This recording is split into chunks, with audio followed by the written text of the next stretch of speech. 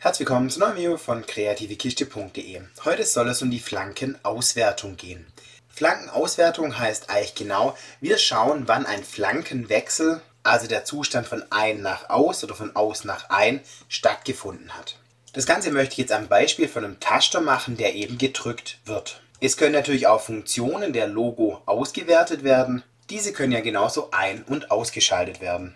Doch ich möchte mal bei dem Taster bleiben. Wenn wir uns einen ganz einfachen Stromkreis vorstellen, dann bedeutet Flankenwechsel nichts anderes wie ich drücke diesen Taster und lasse ihn dann los. Auf dem Schaubild sieht es dann so aus, dass der Stromkreis geschlossen und dann wieder geöffnet wird. Immer wenn also der Zustand von ein nach aus oder von aus nach ein wechselt, haben wir einen Wechsel der Flanke. Diesen gibt es, wie ich bereits gesagt habe, auf zwei Arten. Das eine ist die sogenannte steigende Flanke. Hier verwenden wir den Zustand von aus nach ein. Und es gibt die sogenannte fallende Flanke. Hier verwenden wir den Zustand von ein nach aus.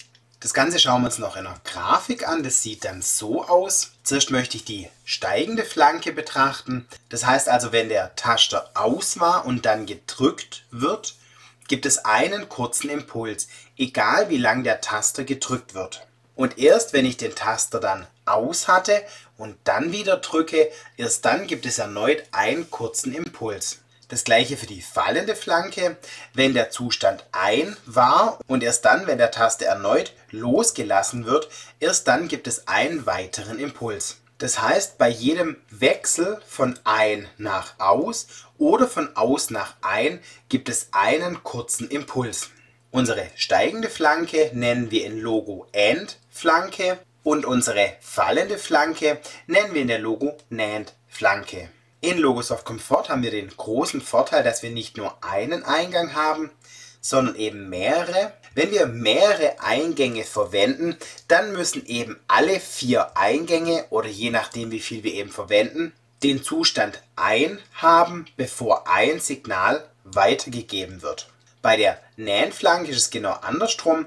Da müssen eben alle Eingänge den Zustand gewechselt haben, bevor wir auch hier wieder ein Signal weitergeben. Um das deutlich zu machen, habe ich diese kleine Schaltung vorbereitet, einen kleinen Zähler. Wenn ich jetzt auf 7 hochzähle und mein i1 drücke, dann sieht man, dass resettet ist. Und jetzt kann ich, obwohl mein i1 gedrückt ist, weiter hochzählen. Egal wie lange ich den i1 drücke, resettet wird eben nur einmal in dem Moment, wo eben der Flankenwechsel stattfindet.